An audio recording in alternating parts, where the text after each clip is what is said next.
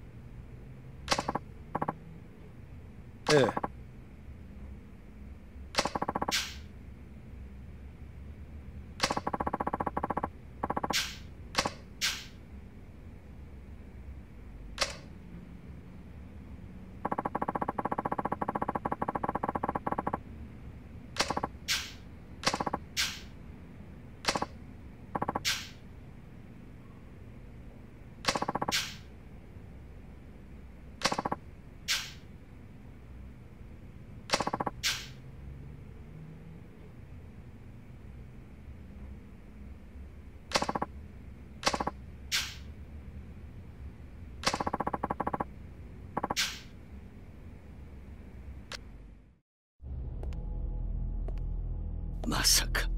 こんな女が今世間を騒がせている連続殺人事件の犯人だったとはな。どうして柴田組の関係者ばかりを狙ったんだ？仕方なかったんです。1億なんて用意できると思わなかったから。ん？何おかしなこと言ってるんだ？なるなかなかいい女だ。これなら男は色仕掛けに引っかかるってわけか。柴田組長もういいでしょう。この女が柴田組の関係者を殺して回っていたことは確かです。殺してしまいましょう。私の方で始末しておきます。まあ待て。組長。俺はなどうしてこの女がうちの連中を殺して回ったのか知りたいんだよ。それに。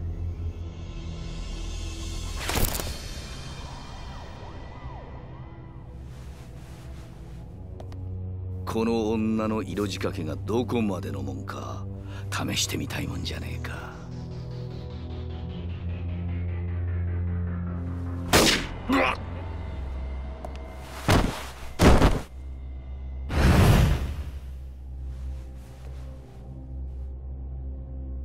あんたはもう用済みだ。どどういうことだ？あ荒い！心配しないでください。これも計画のうちなんですから。この女の仕事は終わってない。まだ必要なんですよ。我々にはね。我々だと？ええそうです。私と桂木さんそれにあと数名の協力者にとってね。お前桂木の方に寝返ったのか。柴田さん勘違いしないでください。私は花から柴田組と組んでいるつもりはない。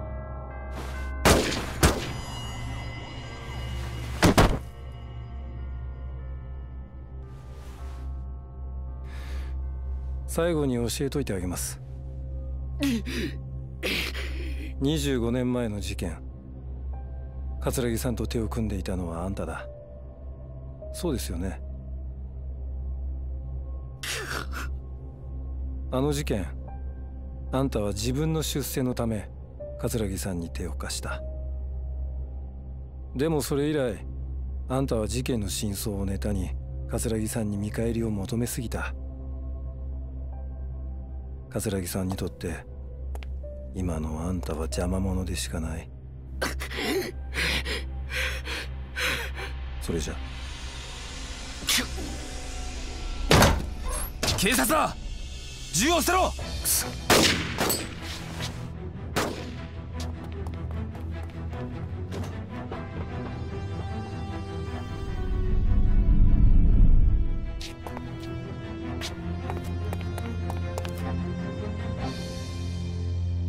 おいしっかりしろ。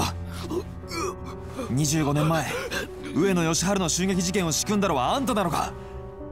あの事件にはどんな裏があるんだ。おいおい柴田しっかりしろ。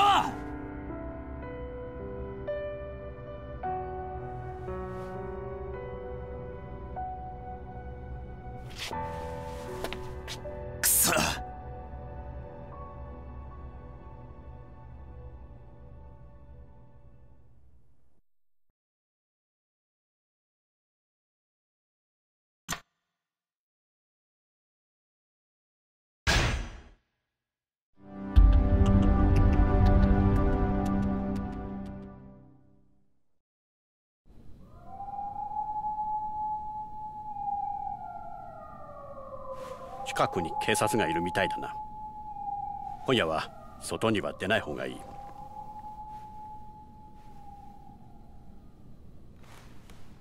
この店は俺がアジトのように使ってる店だ。警察とは繋がってない。安心しろ。どうして？ん？どうして私のことかくまうようなこと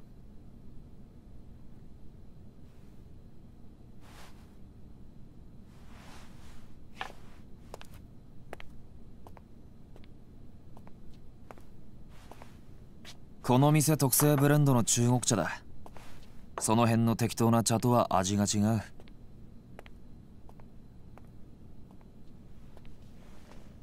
とりあえずそれでも飲んで落ち着け。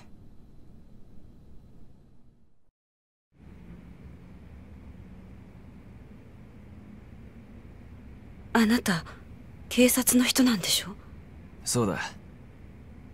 さっき柴田が話していたこと聞いてたんでしょ？ああ聞いてた。じゃあどうして？簡単だ。俺は生活安全課の刑事だからだ。殺しは専門じゃない。でも。それにたとえあんたが殺人をやっていたとしても俺にはあんたを捕まえることができないんだ。殺人の証拠がないからな。だから証拠が揃うまではこうして身柄を拘束するしかない。ま任意同行に付き合ってるくらいに思っといてくれ。どうして私の身柄を？あなたの目的は何なの？俺はずっとあんたを探していた。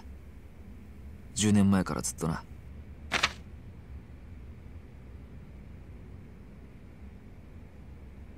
今から25年前1985年4月30日。あんたは俺の親父と会う予定になっていた。この日の夜親父は荒川から水死体となって発見された。冴島靖子さん刑事としてじゃない父親を殺された一人の男としてあんたに聞きたい。あの日あんたと親父は何を話したんだ？教えてくれ。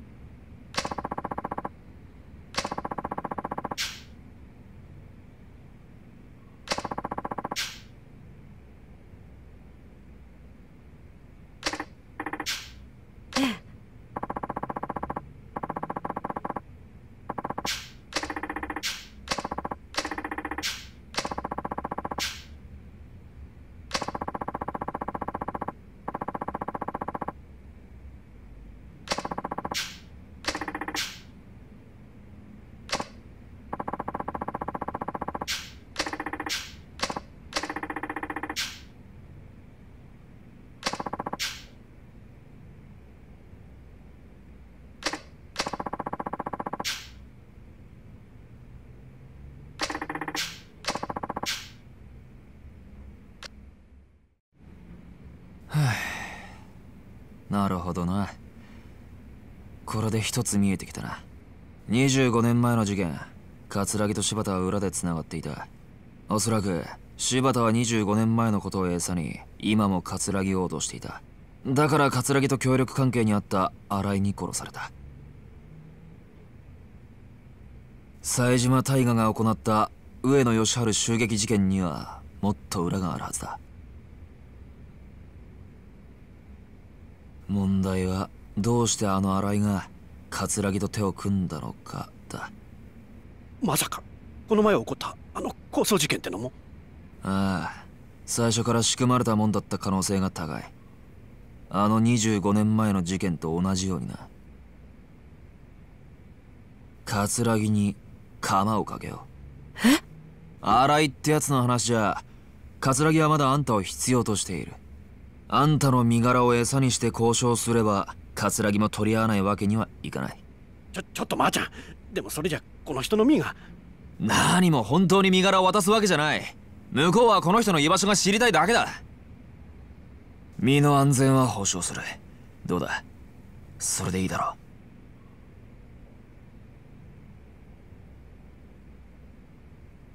断ります。どうして？だってそれじゃお兄ちゃんは助からないから。私には葛城の証言が必要なの。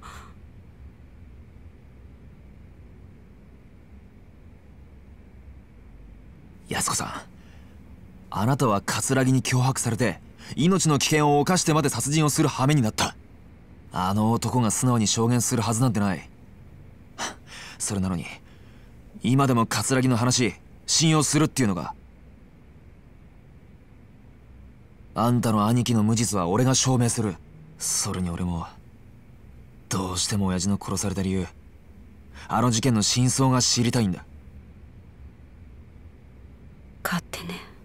え？あなたに何ができるっていうの？全部自分のためだけじゃない。安子さん。私にとってお兄ちゃんは全てだったお兄ちゃんが大好きだった。本当に。大好きだった。25年前のあの日お兄ちゃんがいなくなってから。私はずっと一人だった。あなただけじゃないのよ。寂しい思いをしているのは。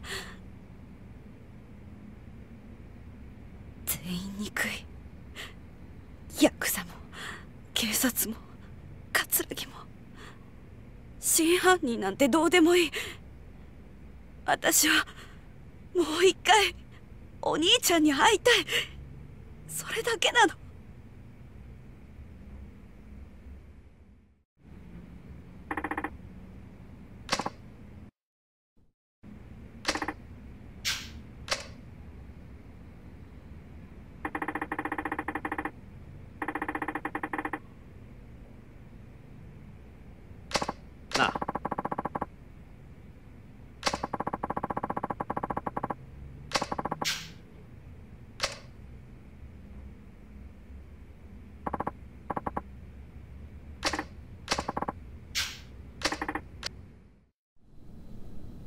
これは。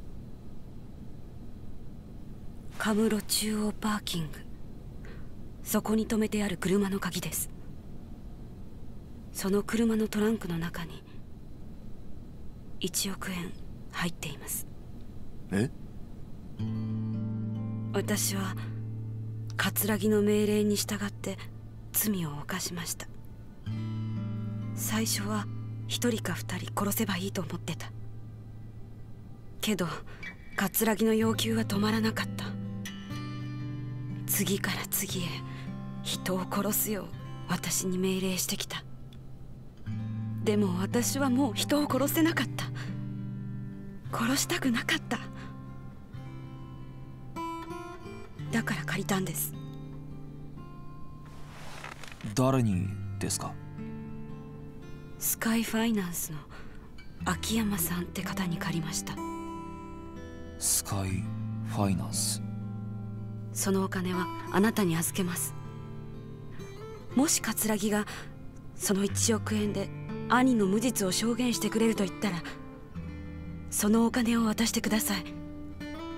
それはわかるんですがどうして私に？私は今から沖縄に行きます。今からですか？あさってが兄の死刑執行日なんです。兄が前にいた東京刑務所の刑務官の方が教えてくれました。お兄さん今沖縄の刑務所に？はい。つい先日移送されたみたいです。あくまで内密にということで教えてくれました。多分私が25年間毎日面会に通い続けたからですね。結局一度も会えませんでしたけど。25年間毎日。もう時間がないんです。だからもし死刑執行が止められなかった時はせめてお兄ちゃんの近くにいたい。私は谷村さんを信じるしかありませんどうか兄のことよろしくお願いします。